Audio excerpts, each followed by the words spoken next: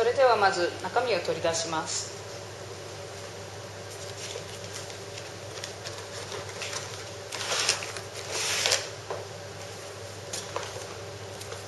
こちらが取扱説明書ですので中身をよくお読みください。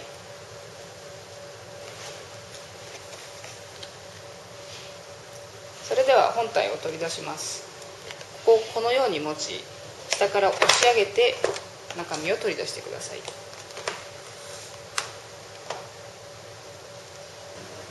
それでは電池を入れます。ここを引っ掛けてこのように開けます。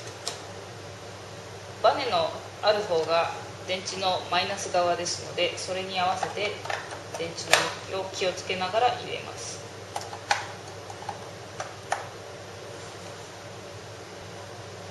北海道青森秋田岩手宮城山形福島長崎福岡佐賀大分熊本宮崎鹿児島沖縄にお住まいの方は地域設定が必要ですので蓋をせずこのままお待ちください。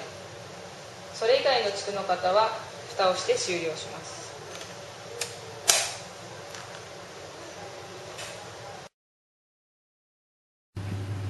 地域設定の方法です。高精度の測りは使用地域により重力の影響を受け誤差を生じる場合があります。本機はご使用になる地域を設定することによりこの誤差を解消することができます。地域番号はご覧の表を参照してください。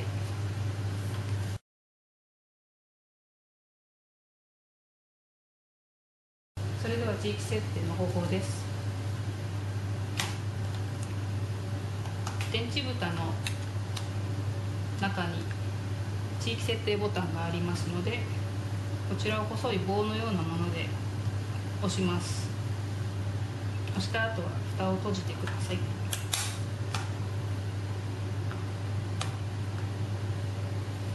工場から出荷時は N3 で設定されています。入りボタンを押すごとに番号が変わりますのでお住まいの地域に合わせた番号を選択してください。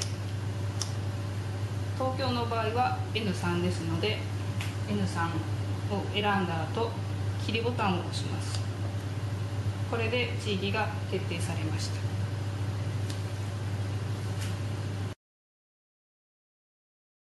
それでは正しい使い方です。平らで滑らずガタのないところでご使用ください。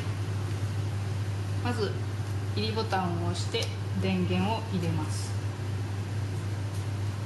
表示が0.0になったら計量物を載せます。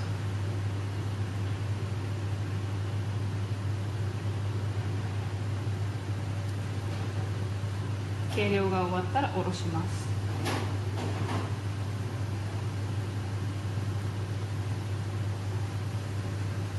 終わりましたら切りボタンで電源を切ります。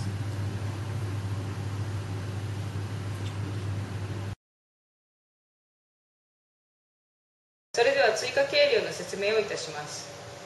この操作は専門用語で風体引きと言います。追加計量とは容器の重さをゼロと表示させることにより容器に入れたものだけの重さが測れる機能です。では実際に測ってみましょう。まず入りボタンを押して電源を入れます。ゼロ表示になったらボールを乗せます。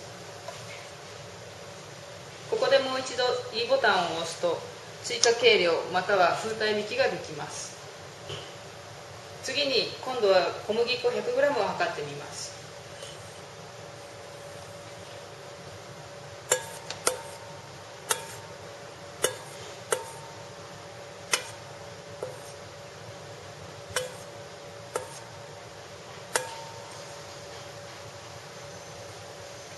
これで 100g 測れましたのでボールを下ろして電源を切ります。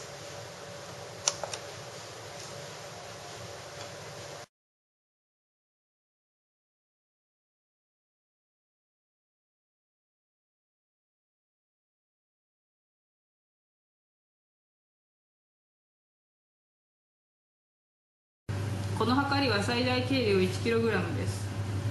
1kg を超える重さを乗せると EEEE という表示が出て測れないことを示します。